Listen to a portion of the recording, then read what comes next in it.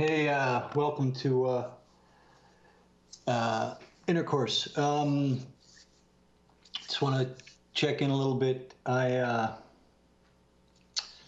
uh, I'm a little uh, a little under under the weather. Some some crazy ass flu going around out here, but um, so I may be a little more delirious than usual. Um, couple things. We are uh, uh, we've premiered uh, uh two episodes now, and uh, as you may or may not have read, our numbers were uh, extremely strong for the premiere of the show. We bumped up. Um,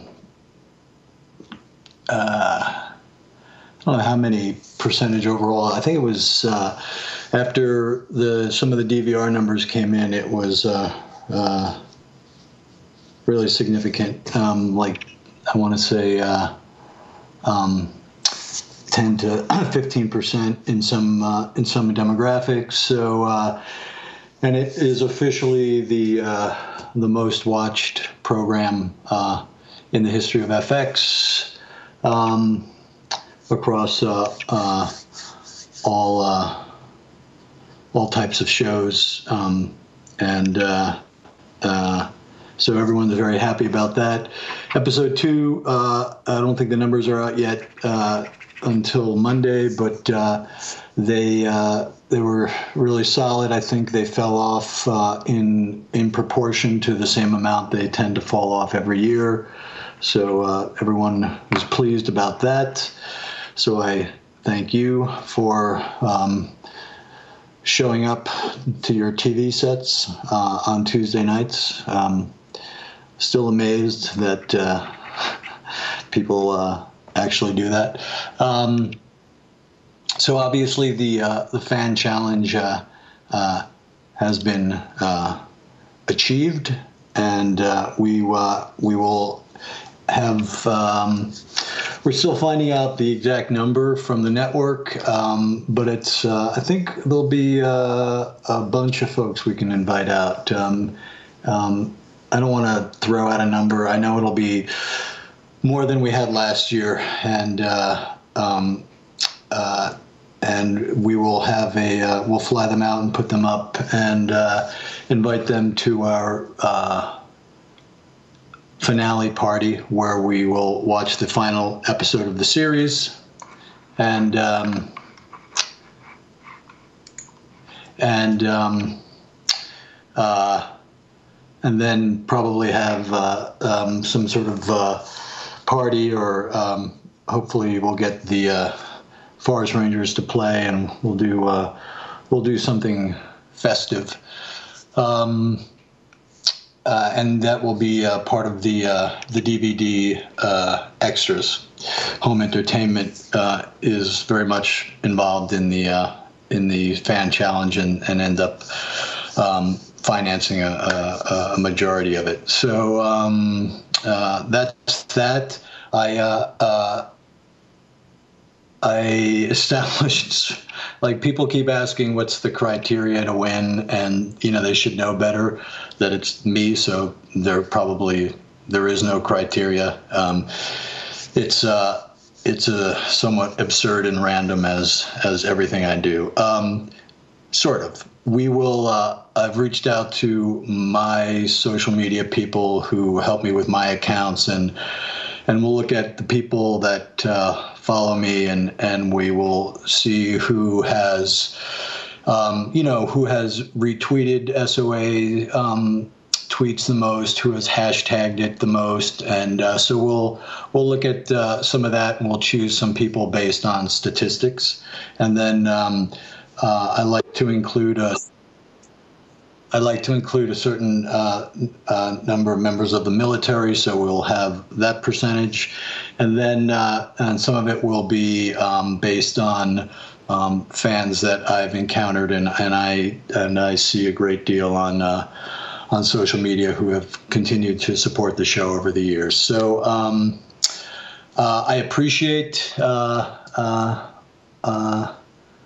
The DMs and and such. Uh, I don't really have uh, an opportunity to respond to any of those, and some of them, quite frankly, terrify me. Uh, but uh, uh, they, uh, we will, we will, we have some sort of process, and and obviously, for a bunch of you, it'll make you happy, and for the rest of you, you'll, you know, fucking want me dead.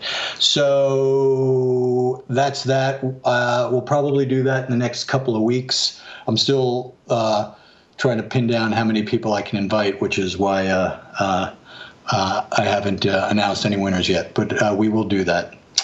Um, and that's it. We're uh, we I'm in the process of of writing episode 11, and which starts shooting like in three hours. I'm a little behind, um, and. Um, uh, we are filming episode uh, 10, and uh, I'm in post on episode 8. Um, so things are uh, moving along at uh, sort of uh, the clip that they do this time of year. Um, what else? no big news to speak of. Um, I had a I had a really cool guest lined up, and um, and he couldn't uh, uh, he's uh, overseas, so we couldn't uh, actually hook it up. And uh, and I don't say that as a tease. I, I don't want to say who it is because hopefully I can get him next week. Um, and uh, uh, and my wife is uh, Katey's working tonight, and so it's sorry, it's just you and I, kids. Um, and um, so that's it. Let's let's let's jump into some questions before I uh, uh, fucking pass out here. Um, uh, the uh, lady in glasses in box is that three? Hi, what's your name? My name is Alexis. Hi, Alexis. Hey, um, so I saw you at the show on Friday. I went to go see Katey and the Forest Rangers. Oh, cool. That's right. Did you like the show? Yes, I loved it. Um, I wanted to ask you when it comes when it comes into terms of picking music for the show, like what you and Bob kind of sit down and watch what you guys got so far and go from there. I mean, how do you guys go about picking it? Because Bohemian Rhapsody was amazing. Um, what ends up happening is uh, for some of the bigger montages, I I have a sense of uh, maybe what song we would uh, we should use or would want to try, and um, um, and then uh, I usually go to Bob and find out if it's you know if it's feasible in terms of rights, and then if it's feasible in terms of production, and and obviously Bohemian Rhapsody is you know a monster sort of a song, and and Bob was up for the challenge, and uh, um, uh, and I, you know, you throw out these ideas and you have a sense of maybe that'll be cool, and and uh, but uh, I've learned now that I can hand something off to Bob that's like a three or four in terms of, you know, uh, the level of good idea it is, and then by the time Bob gets done with it, it's a it's a nine or a ten. And uh, I was blown away at what he was able to do with Bohemian Rhapsody, and you know the the the great thing about working with Bob um, and uh, and uh, uh, is that I can um, you know we we the music is to enhance story you know it's not to compensate for story it's not to you know um, distract you from story I really you know I really try to use music um, to uh, sort of add a layer of narrative to a story. And uh, um, and the great thing working with Bob is we've we've got a shorthand at this point that you know because I'm not.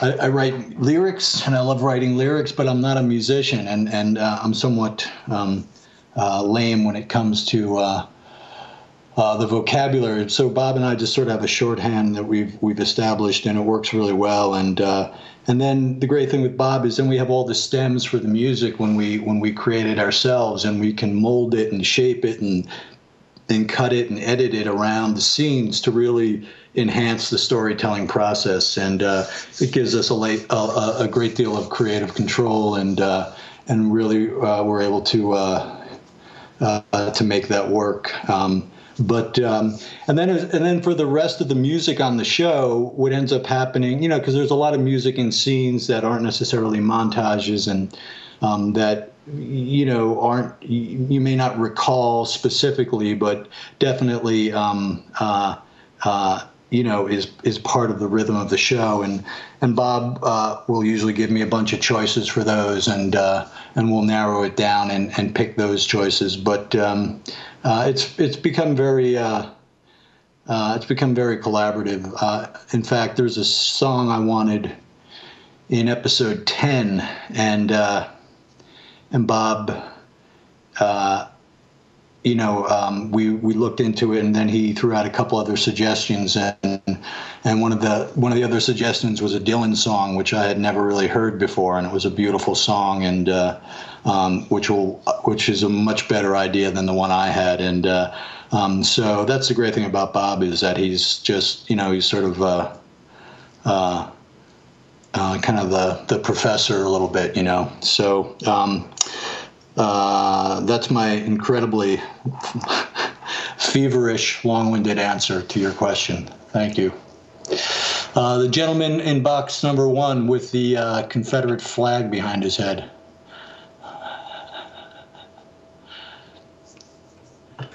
How's it going? Um, that's the Scottish flag behind me, by the way. What's that? That's the Scottish flag behind me, by the way. Oh. hey, um, What's my name's Liam. Um, I, I was just wondering if I could possibly like um, come up, give you a wee daft idea, like the. I'm not like pitching for a writing thing or anything like that. I can't. I can't take a pitch, man. I can't take an idea. No, no, no, no, no, no. I'm just saying. Or, I don't want to. I don't want to put you in that position, so I can't really. Okay. Hear a pitch. Can I ask you a different question then? You can ask me a question. Yes. Sure. Um, I know that you worked with Tommy Flanagan and all that, and you've come over here to um, the UK, Ireland, and all that. Yes. What's that like working with um, overseas contract, overseas actors, and um, going to?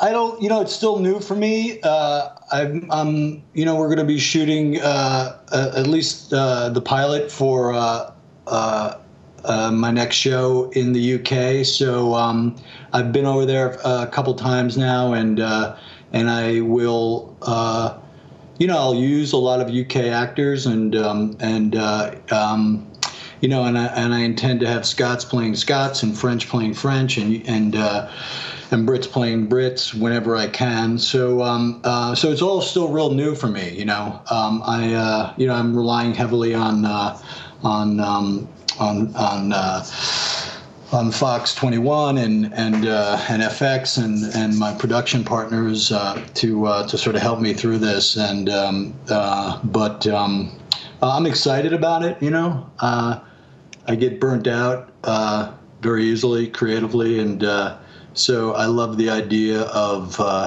not only doing something that's completely different creatively, but that's different process wise, you know. So I don't feel like I'm falling back into the exact same rhythm of what I've been doing for the last seven years. That there'll be a new process, there'll be new people, um, and uh, um, and I like as much as it scares me, I like having to learn.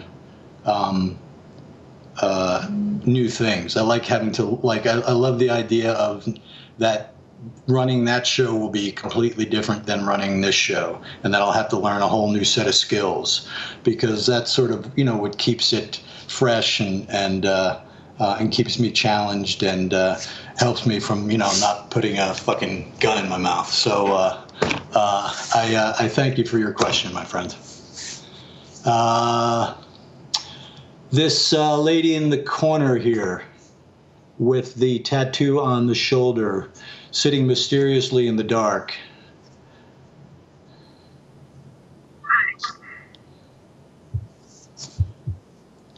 Yes, you. Yes.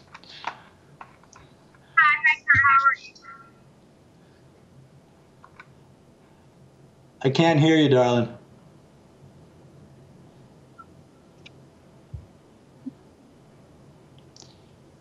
Can you hear me now? Can't hear you. Okay. Let's go to the let's go to uh, red hoodie and uh, Viking hat. oh, okay. tattoos and like choosing like what's the process of choosing the tattoos for each character especially like when they add tattoos throughout with like juice with the sun and the shine and Right, Tig right, with the right. donna tattoo and stuff Um, it's a uh, it's sort of a collaborative process. A lot sometimes it'll be about story. Like I knew I wanted Juice to have um, that new tattoo uh, based on the things that he'd gone through, um, and then had uh, um, my makeup artist work with uh, um, um, some tattoo artists and came up with that design. Um, but sometimes an actor will come to me and say, "Hey, you know, um, uh, this would be a significant thing for me to get a tattoo." And I think Kim, I think Kim and I um, talked about the uh, um, uh, the you know Kim has a tattoo on its chest, like right here, that's this creepy little doll with a gun in its hand, and and he loved the you know he had the he loved the significance of that and um, so it, it's sort of both. Like charlie you know charlie was the one that came to me and wanted to put his son tattooed on uh, on uh, abel on his chest and, and i loved that idea. So then we did one for thomas and um, uh, and um, so it's uh, it's pretty collaborative. And and then in terms of the design um, you know if an actor has an idea we'll play with it or or um, um, uh, you know a, a, a symbol or, or, or a glyph or something we'll play with it but a lot of times we'll just go to our you know we have great um, a great uh, makeup department and uh, they work with a lot of great artists and uh, so we'll come up with a bunch of different designs and uh, um, and then end up, you know, choosing one that we think makes sense. Thank you. Um, the lady in uh, with the blonde hair and very red lipstick. Uh, box number, yes, yes. Hi. Can you hear me this week? I can, yes. All right, very good. Um, I have a question. It's um, a season six question. Uh-oh. In John 8:32, there were two ravens in Gemma's birdcage. Yes. Did they represent the death of Clay and Tara? Were they like foreshadowing, um, kind of reminiscent of Edgar Allan Poe's The Raven? Um, uh,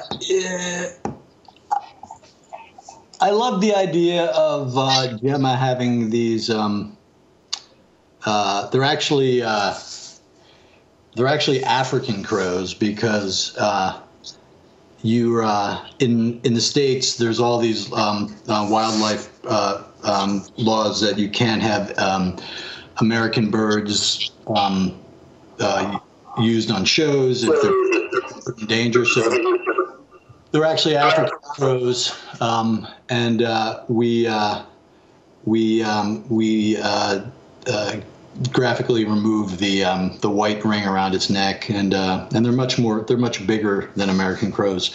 Um, you know, I, I don't think it's any specific.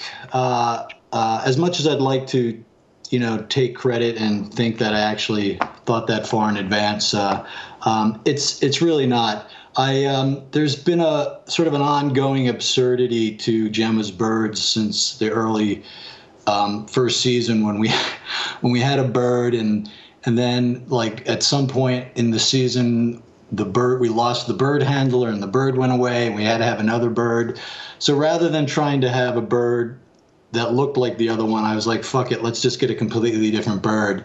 And then it sort of became a gag like you know every two or three shows we'd have a different completely different bird in the cage. So um, uh, that has to do with some of it. But um, uh, I did like uh, I did like the fact that uh, she had ravens and uh, um, and uh, you know she'll keep those she'll keep those this season you know? And because it just felt like Gemma's at that place now where you know the only bird that makes sense is a raven so thanks Uh, the gentleman uh, with the black T-shirt and uh, who seems to be at work. no, no, I'm, I'm not at work. yeah. Um, I've just got a question about. Uh, well, What's your name? First, uh, I'm I'm Lou. Uh, yeah, so um, I started watching a show around the end of season three. My brother put it, put me onto it, and then in the off season we also watched The Shield. Oh right, right. Yeah, so uh, I've got a question referring to that because, like, obviously there's been a lot of uh, people you've had from the Shield in it, apart from one major one, and I'm just wondering whether you know it was like there wasn't really a role for him, or uh, he was just uh, just scheduling issues. So, like, With- was there a point where you'd see Michael Chiklis in it or not? You know, here's the deal with Chicky. I I uh, I love Michael. I think he's an amazing actor, and and I always felt like it would be impossible to put either him or Walton on the show and separate it from the Shield because to me those two characters were like you know so iconic on the Shield and and that you know it would be hard in this world to separate those two guys from those from those characters you know because they were bigger than life. And uh, and I've had discussions with both um, Michael and, and Walton about it. And and then Walton and I had that I think I've shared this before we had a conversation and uh, uh, I don't know a couple of years ago now and uh, or a year and a half ago whatever and uh, and I said uh, you know I said the only way you know we can we could ever have you on the show is you know is if you play a woman. And uh, so um, uh, we kind of ran with that. And uh, uh, and uh, and hence you know Venus was born. Um, and uh, and really to me that's the only you know that character could not have been could not be you know uh, uh, 180 degrees further from um, from Shane Vendrell. So, um, uh, uh, but it's hard with Chicky. You know that you know Vic was such an iconic character, and and um, I just felt like. Um, you know, uh, there was a lot of similarities in the show already in terms of style and and tone that it would be really hard to uh, to separate those two. And uh, but it's not for you know for not it's not for uh, any other reason. You know, I love Michael. He's a great actor, and you know, uh, you know, he he'd love to do the show. He just he's just insisted that he won't do it with tits. So, uh, um, uh, and uh, and I think he's doing he's. Uh, He's on horror. Show, he's doing a horror show now for uh, for Ryan Murphy, so he's a busy guy. But no, it was really just um, tonal, and and uh, and the fact that that character I couldn't separate from the Shield, you know. But uh, uh, uh, hopefully that'll put to rest the issue. But thank you. Uh, the uh, the let's see the gentleman in the center box up top in the red shirt. Yes, sir. Can you hear me? Can you hear me? Yes, I can. Oh, perfect. My question you sort of answered already with an, another one, but I was looking, or I wanted to ask you, do you have, do you know what I'm referring to when I say Easter eggs? Like in the first six seasons, were there hidden things that would have indicated something in season seven? Like, you know how the birds changed? Like how she re- re- referenced the birds? Yeah, there's some. It's not so much Easter eggs as uh, I guess they're Easter eggs. You know, like um, uh, I'll do stuff with uh, like in season one. I think the the the mausoleum that Jax was sitting in front of, the name above it was uh, Patmos, which was the actual name of John the Revelator. You know what I mean? So I'll do stuff like that that nobody or nobody should know what the fuck that means. But uh, um, and uh, you know, and and then I'll do stuff with books a lot. Like I'll make a lot of I'll have a lot of um, uh, literary references um, in in uh, in the show, and and some people will get them, some people won't. Um, I make a lot of references to absurdist theater in the show, and uh, because there's to me there's such an absurdist line that runs through this show, and uh, and um, you know. Uh, uh, and I sort of salute those people um, for that influence. Um, uh, the good thing is, though, um, I'm sort of the only one that knows what the Easter eggs are, and I forget. so it's not like I can I have them written down. So therefore, it usually doesn't it won't it doesn't really do viewers much good because I can't even fucking remember what they are. But uh, I'll watch an episode and go, oh yeah, that's when I you know. Uh, but uh, uh but uh, that's well, I gave you one. I gave you one about uh, Patmos, so that was one I remembered. So thank you. let's go to. Um, the smoking lady scares me. So let's go up here to box number one.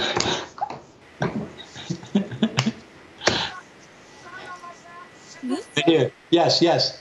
Oh, okay. Yes. Um, so I my main question is about Gemma. I've read a lot of her saying how this season she says a lot of one thing, but her mind is thinking a different thing. So in the first episode, but that moment between her and Juice, um, where he asks her why how can she talk about Tara and she says what she says. I want to know like right. how much of her is saving face and is trying to cover her ass and how much of her really believes what she what she's saying. No, that's a good question. I think the I think and not to be flip, but I think uh, the answer is that um, uh, is is both of those things, meaning that um, Gemma is, you know, she's learned to compartmentalize so many secrets and so many sins over the years in that um, mama bear box, you know, that I'm doing this for the good of the family. And, um, and eventually, you know, compartments get really full with, you know, if you keep stuffing shit in them. And, um, and I think she really believes that, you know, or at least she's trying to convince herself that that's true. That what happened with Tara in her mind, and, and to a certain degree, she's absolutely right. She had misinformation. She thought Tara was selling out the club. Now, does that justify the brutality of what happened? No, you know, but in her mind, it gives her an excuse to then say, okay, it was an accident and if I tell somebody the truth, we'll all we'll we'll all be worse off. So I think it's how she really, you know, wraps her brain around the carnage that she's created. And um, you know, and like anything else, when we tell a lie like that, we you know we try to put it in that box and, and hope that nobody shakes the box.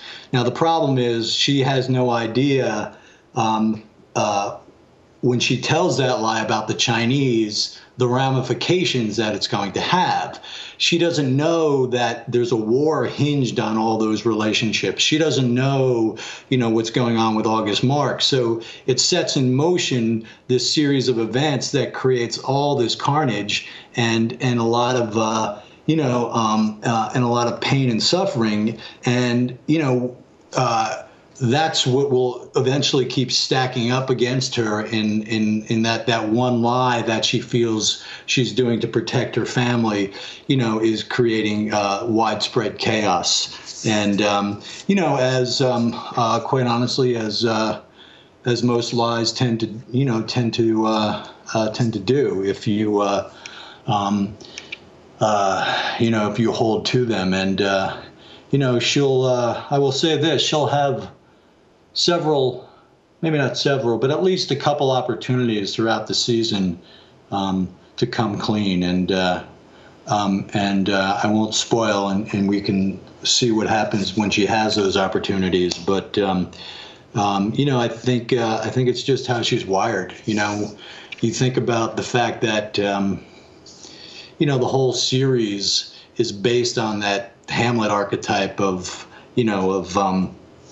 of uh, of uh, Hamlet and, and and and and Gertrude and Claudius and uh, um, and unlike you know unlike Gertrude, uh, uh, you know I think Gemma is very um, was very uh, complicit in that original sin, and um, uh, and she's been living with that lie for you know decades. So um, she she's very good at it, and um, but she. Um, uh, she does. She does believe it, and I think that's what she has to continue to uh, uh, to do is is convince herself of it day after day after day. So, um, I'll take one more question, and then I have to go and drink some fluids and pass out. So uh, let's go with this lady in the corner in the lovely uh, red shirt. Yes, hi. Can you hear me okay? I can, yes. Fantastic. So, besides the fact that I'm honored to talk to you, I wanted to ask you about your prequel and if you had any ideas of who you'd like to play the various people in the episodes, if you're thinking about reprising your role or if it's going to be much earlier.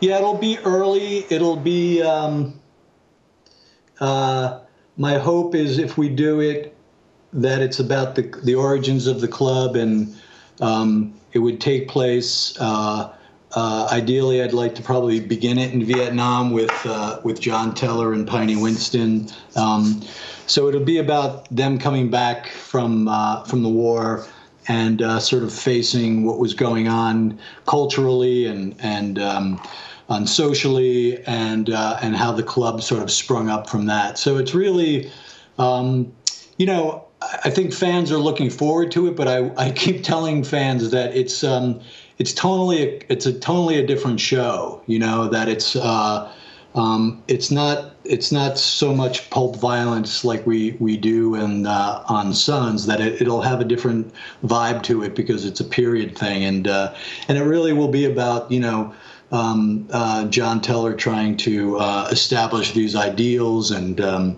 and uh, you know and, and and live on you know and try to set up this uh, this little world on the fringe that uh, ultimately became the club.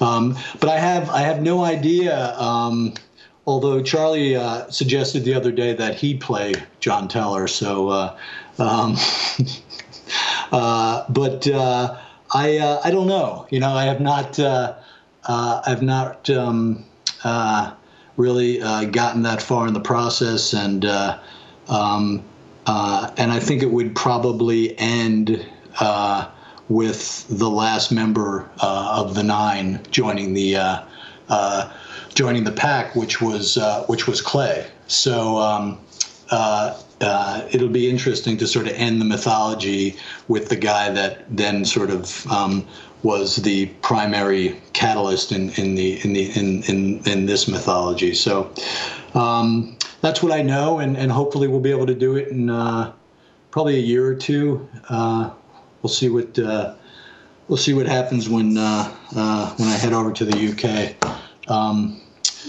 uh, but that's it. Thank you. Those were awesome questions. I really appreciate it, and I hope I made sense. And um, uh, and again, I uh, I love you guys. I, I so value the time and energy that you put into this show, and the fact that you uh, uh you show up each week and, and engage and watch and, and, and give a shit and uh, um, and allow me to do this. So um, uh, that's it. We we will do this again next week, and I'll try to get my mysterious guest star friend to to dial in from the the fucking Amazonian jungle or wherever the fuck he is.